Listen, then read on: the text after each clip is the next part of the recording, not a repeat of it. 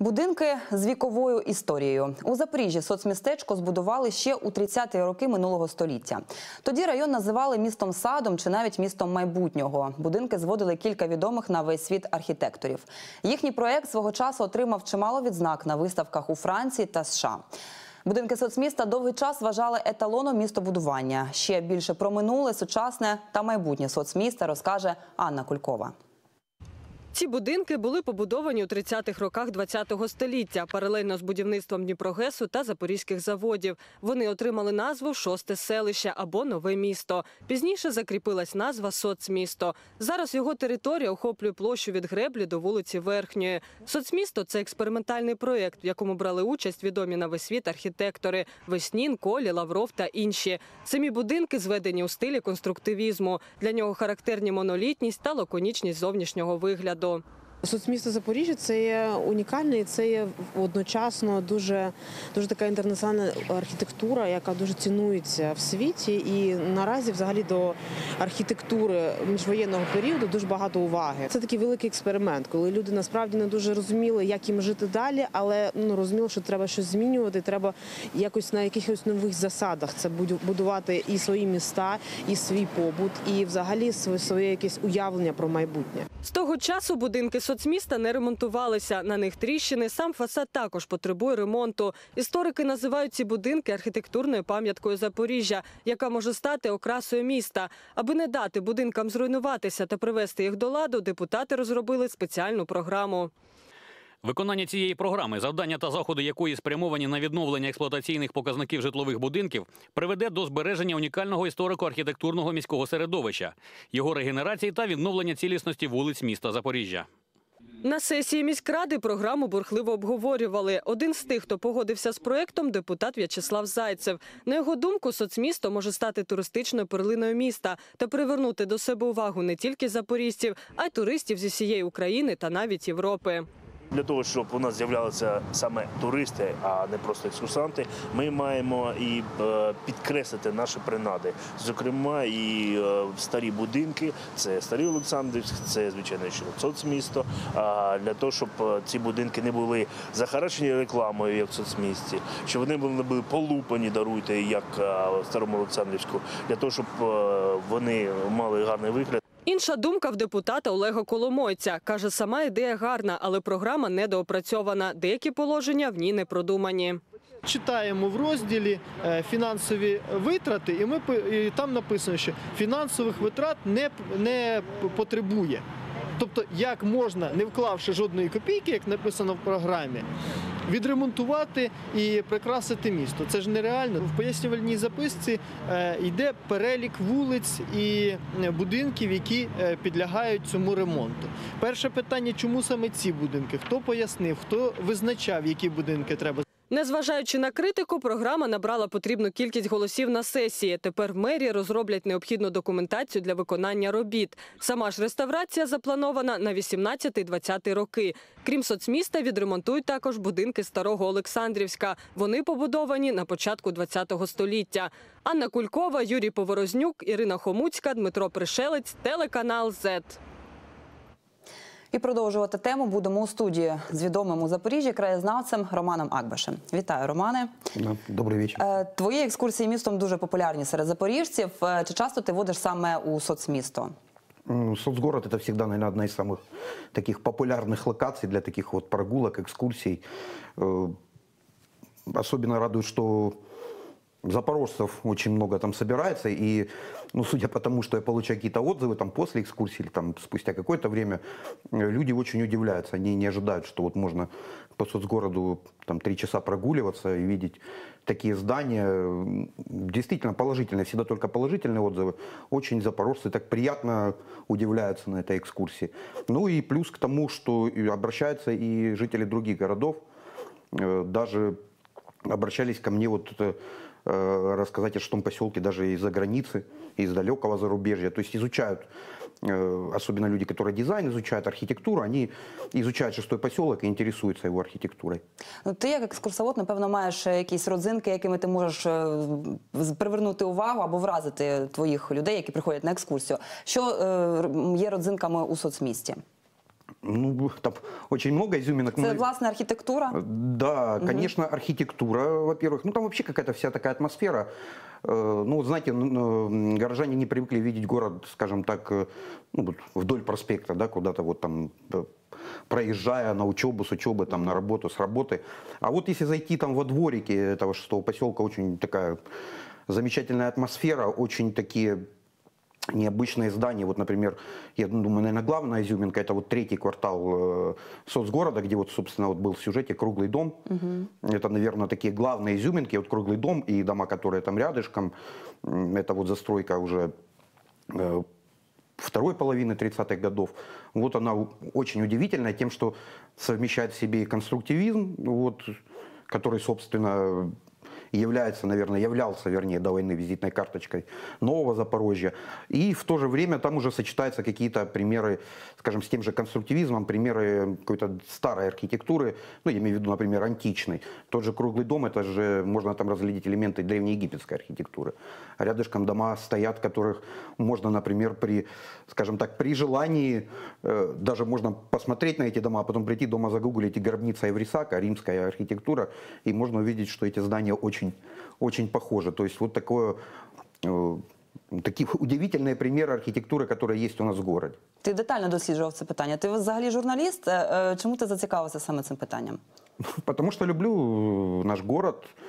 И в том числе я считаю, что это как такое своеобразное продолжение журналистской работы. В в журналистике ты людям об этом рассказываешь, скажем так, или с- со страниц газет, или с- да, в интернете, да, с помощью каких-то сайтов. А так вот ты имеешь возможность непосредственно и видеть тех людей, которым ты это рассказываешь, что тоже добавляет ну, мне, вот так скажем, интереса. Я люблю вот смотреть на глаза людей, Тобто ти обрав просто інший спосіб комунікації. да, люблю передачі смотреть на глаза інформації. людей, когда они видят эти здания. Вот они, например, ни разу в жизни тот же круглый дом не видели. И просто приятно смотреть, как ну, вот у людей такие большие глаза становятся, и видно, что они действительно очень впечатлены, тем более они впечатлены, что это рядом.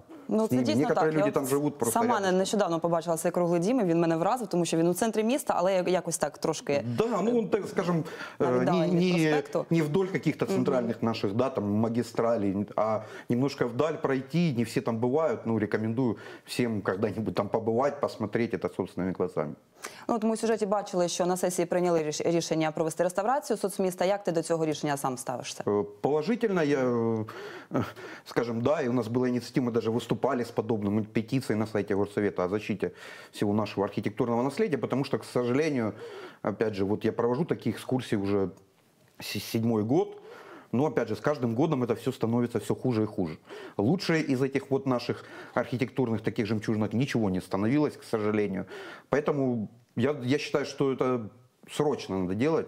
И приветствую, что так делают. Ну, опять же, всегда вот э, всегда, когда говорю на таких экскурсиях, хочется, чтобы их ремонтировали, приводили в порядок, но в то же время хочется, чтобы эти работы делали все-таки понимая, что От, власне, ремонтируют. так, про це я хотіла запитати. Чи Да. не можуть нашкодити навпаки таким реставраційним Ну, роботам? дело в том, что я думаю, у всех у нас есть пример перед глазами такого неудачного ремонта, ну, я считаю, неудачной реконструкции.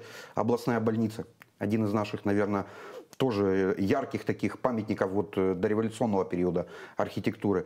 Ну, К сожалению, да, его привели в порядок, э, детскую областную больницу, но с- пропали интересные элементы, которые были на фасаде, те же ангелочки, красивая лепка, там остатки надписи «Земская больница». То есть вот тут, к сожалению, ну, немножко поспешили, да, сделали, привели в порядок больницу, ну, может, надо было каких-то дополнительные средства потратить или чуть-чуть дольше делать этот ремонт, но сохранить это, потому что, к сожалению, ну, здание утратило свой первозданный вид. Ну, ти нам, до речі, приніс е, фотографії старого, м, старого нашого міста у старому вигляді.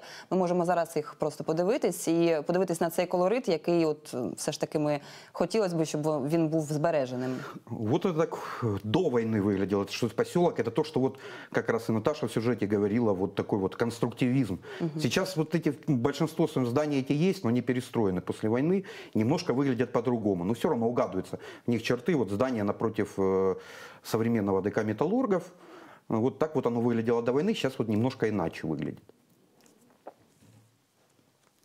Вот э, рядышком тоже с ДК Металлургов вот так выглядела гостиница, которая э, там тогда была, то ее еще иногда над ним, на некоторых фотографиях можно увидеть надпись «Интурист». Сейчас, если я не ошибаюсь, там, ой, точно даже не скажу, что там Зараз, сейчас. Это а, прям сбоку, справа, справа ДК «Металлургов». Вот. А здесь тоже можно посмотреть, это вот в чистом виде конструктивизм. То есть вот типичное конструктивистское здание. Вот я думаю, многие знают этот вид, вернее догадаются, это проспект Металлургов нынешний, тогда еще аллея энтузиастов, вот там магазины-близнецы, как их называют в народе. Вот так эти здания, и так этот квартал выглядел до войны. И вот такой проспект будущих металлургов. Ну вот тоже одна из кварталов, внутри квартала, этого же квартала, вот такие чисто конструктивистские здания, без, всякой леп, без, всяких, без всякой лепки, без всяких таких украшений, таких пышных, да, вот такой чистой геометрической формы, плоские крыши. Можно сказать, что до середины 20-х годов 20 века никто в мире так не строил. То есть это передовое слово было на тот момент в архитектуре, вот этим тоже запорожцам надо гордиться. Вот замечательная фотография, как выглядел тот же проспект Металлургов, но еще здесь будущий. Вот моя из, одна из любимых старых улиц, это вот улица здесь вот она парковая, сейчас это парковый бульвар, ведет к парку Металлургов. Тоже вот такая зеленая, красивая раньше была. А вот тоже многие не узнают, что это. Это на самом деле перекресток современного проспекта Соборного и Металлургов. Ну, То есть вот так это выглядело в конце 20-х годов. Нет еще вот этих башенок, нет. э, эти все дома пострадали, к сожалению, во время войны, были немножко перестроены, стали чуть выше и со всякими украшениями. Но вот то знакомый до сих пор, в частности, сохранившийся, это вот архитектор Ольга Яф, одна из таких немногих женщин, конструктивистов. Вот ее дома обобществленного быта, общежития. Вот это довоенная еще фотография. Армянским туфом отделаны вот эти дома. Вот тоже замечательно, это из двора, можно сказать, вид на вот те дома, где магазины-близнецы. Вот такой двор довоенного шестого поселка. Це все соцмісто, я так розумію, да, так? да. А Вот это уже вот такой пример послевоенной архитектуры. Это вот возле нынешней инженерной академии. Только вот начало 50-х годов застраиваются те кварталы, которые еще до войны не успели застроить. Появляются вот такие дома, уже более изящные, красивые. Вот замечательно, вот задержал бы внимание всех на этой фотографии, чтобы люди понимали, как поменялся город э, ну, из-за войны. Вот это здание, то тоже, тоже, думаю, многим известно, это то, что сейчас является городским управлением полиции. Вот там недалеко от площади Запорожской. Вот могут себе представить, оно стало больше, немножко по-другому архитектура. А так оно до войны выглядело. Ну и вот такой один из кварталов. Вот такая, такие брусочки, как можно назвать эти дома.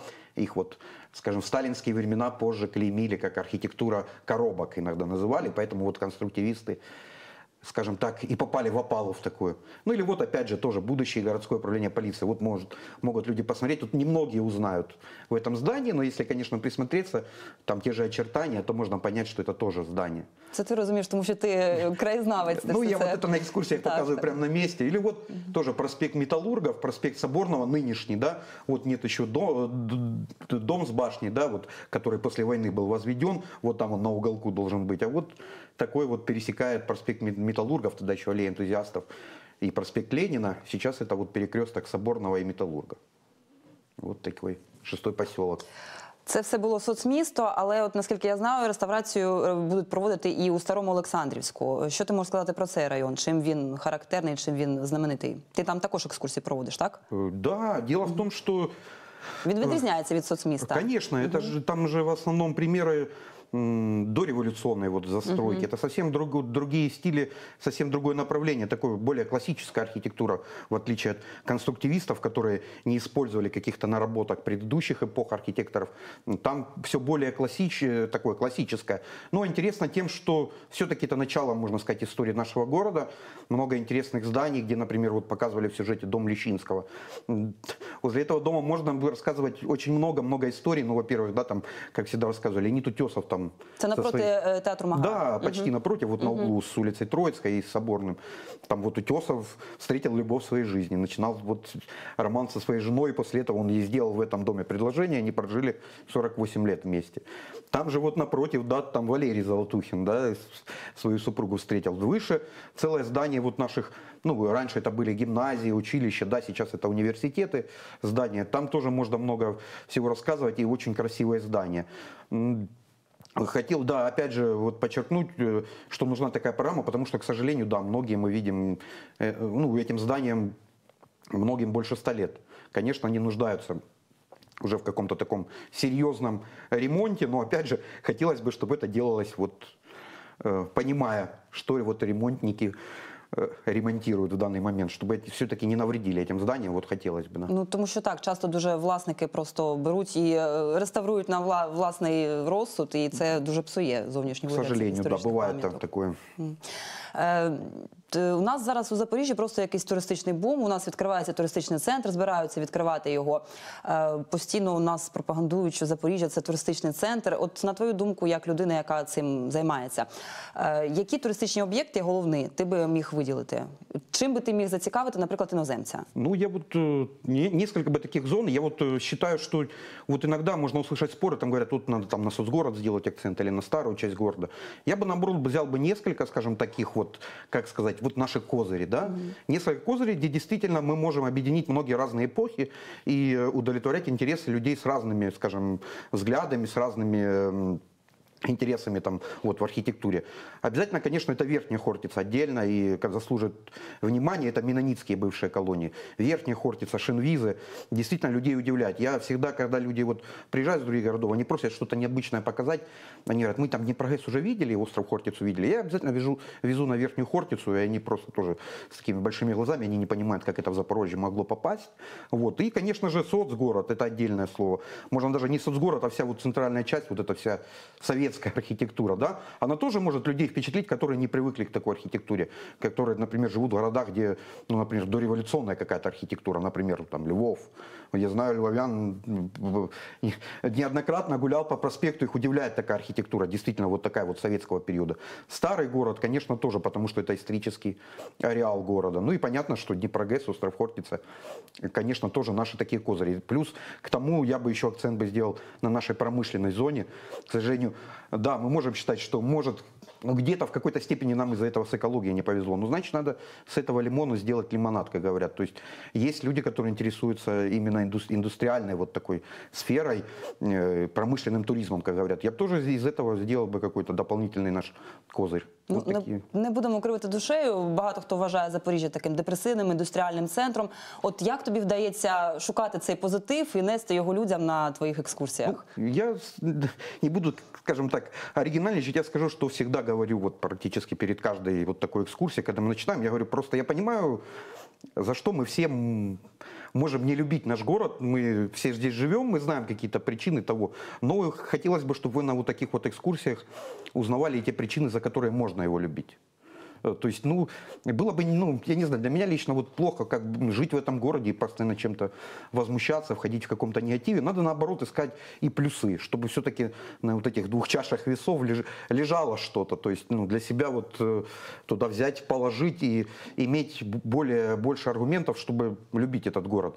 Ну, иногда вот мне не по себе, когда вот людей спрашиваешь, какой вы город любите, они там говорят Киев, Львов, там, Одессу, там, Харьков или какие-то зарубежные города. И редко кто говорит, к сожалению, что он любит Запорожье. Вот хотелось бы, чтобы людей все-таки больше было, и чтобы у них было аргументов больше любить. Чем больше что-то знаешь, тем больше шансов, что ты к этому будешь по-другому относиться, с большим уважением и, возможно, даже влюбишься. Да? То есть вот хотелось бы, чтобы больше, больше людей таких было, да.